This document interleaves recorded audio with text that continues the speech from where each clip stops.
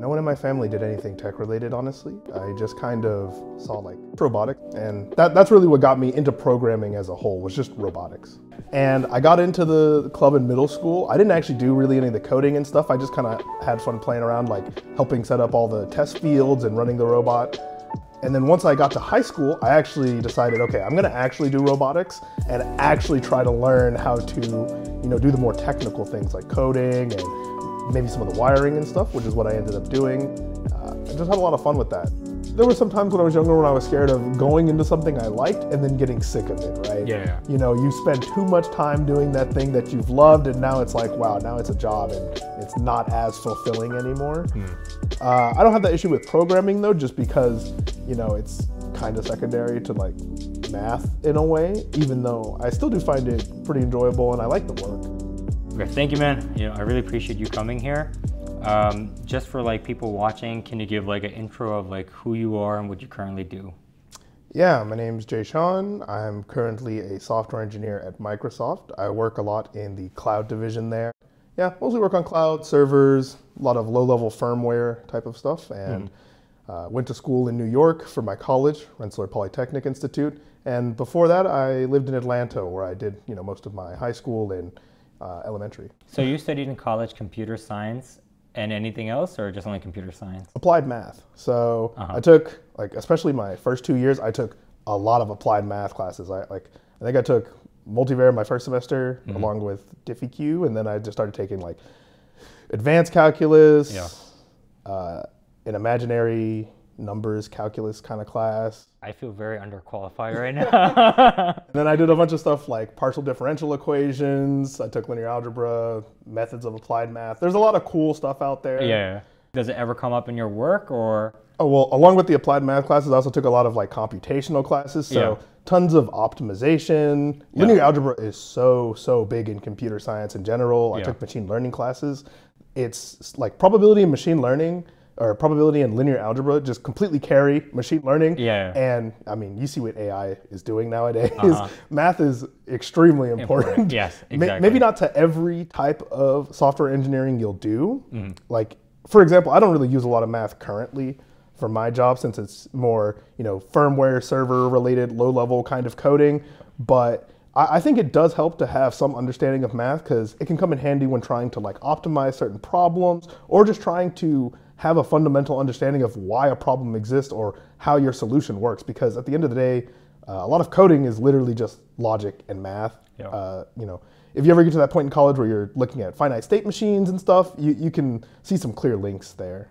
So uh, on the topic of like your classes, do you have like any favorite classes in college that you really felt like helped you a lot or just like really interested you? For computer science, I would say a very useful class I took would be Principles of Software. It teaches you a lot about how to structure your programs to make your code readable. It teaches you how to do things like refactor your code, uh, best practices for setting up things like do you want to abstract out certain classes to make sure it's easy for someone else to come later Yeah. and modify those things or something that's easy to expand upon because I, I would say that's a that's a very big part of software engineering is uh, the technical debt that gets built up because some things aren't designed in a very good way Yeah. and later down the line you may need to overhaul something or apply a weird band-aid fix that doesn't fit very well with the rest of the system and it can get very complicated.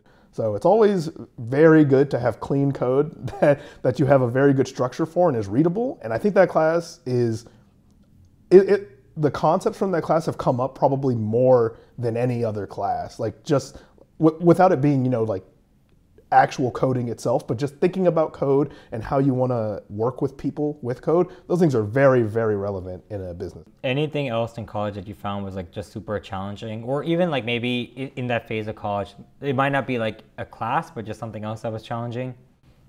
Uh, I would say the two times I probably struggled the most in college was taking data structures, which is like the first real computer science class. Yeah. Like the first one you take is computer science one, which is just Python, and then data structures is in C++. And if you don't know C++, you have to learn it as the class is going on, and the homeworks do not, they don't even start easy. Yeah, you know, it's a gatekeeper class. Yeah. People who want to transfer into the major have to get a certain grade in that class to even uh, be valid for it. And I knew people who straight up could not pass that class for years.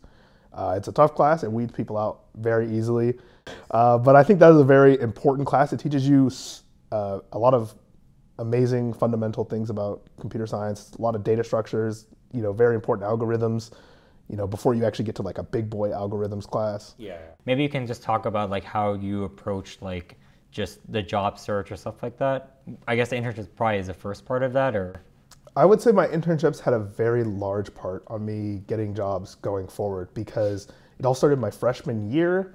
I was on the e board. I, I got put on the e board for a club the second semester because I was friends with some senior who graduated in December, and they were like, "Hey, you should take my spot." Yeah. So I took their spot on the e board, and then someone from the physics department came to our e board saying, "Hey, we're looking for people to work with us over the summer, like coding and whatnot, math, physics." Yeah. And I was just like, "Hold on, I know math.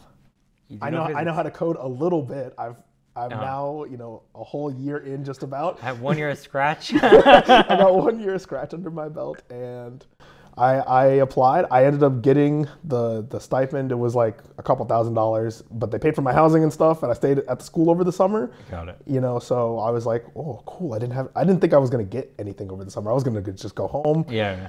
But then I got that, and the project itself is called Milky Way at Home. Basically, it is a physics computation simulation project where they are just constantly calculating, trying to find dark matter. But that specific project that I worked on is what pretty much got me the rest of my internships because once I once people saw that and they were like, "You were doing what with particles and space and Yeah. stuff?" and I was like, "Yeah, yeah, yeah, it's pretty cool, right?" Uh-huh.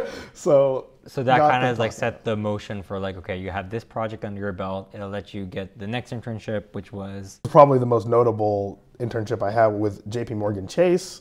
Uh, got to work there for a summer, and I actually mostly worked with sort of data engineering and data handling and stuff. Uh, our team was split in three parts, and there were two other interns on my team. So, and we we handled like a whole pipeline essentially. So, getting the data, massaging the data, Yeah. doing some light analysis, and then presenting it for a couple partners at the end of the summer.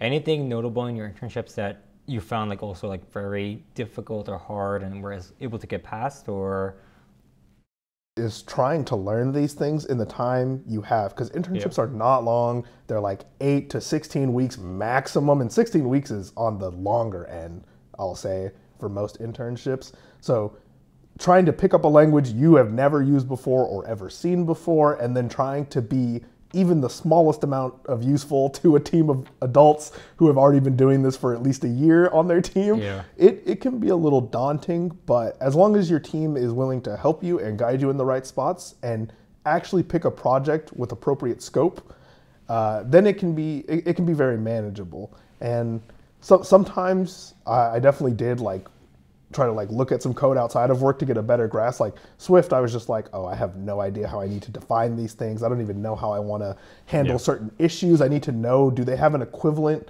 of a function or some default uh, state like these other languages do that I can, you know, like use my past knowledge to keep Yeah. in this language. how did you guys prepare for the interview for like these kind of companies traveled across the country a couple times to go to these to other large career fairs and just doing that for a couple years just gave me a lot of experience and confidence that I knew what I had to do during the interviews. I already knew what I wanted to say and how I wanted to present what I was going to do.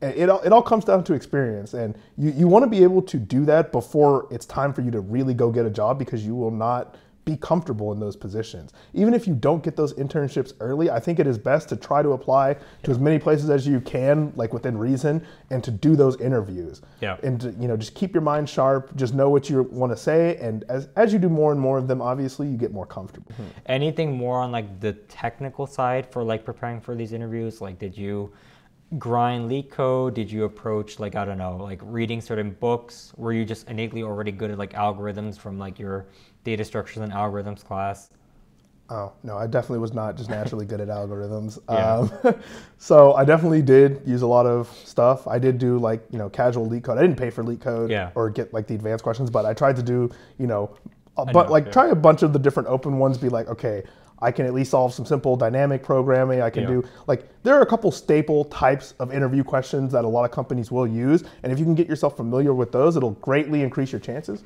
Anytime you're doing an interview, it's not always the end goal to be able to give the exact solution as long as you're familiar with those type of problems and the fundamentals about them and can explain your reasoning of how you're trying to approach an end solution uh, and try to get the interview to like walk through it with you maybe give you hints sometimes because interview interviewers will do that a lot they really want to see that you understand the problem and can work it out it's not always about just oh, I remember this exact formula. I know how to set this up for this problem every time. They want to know that you know what you're doing because you know problems in the real world in the real world are not as clean. You're always going to have to improvise in some way or adapt something to fit a system that you have never seen before.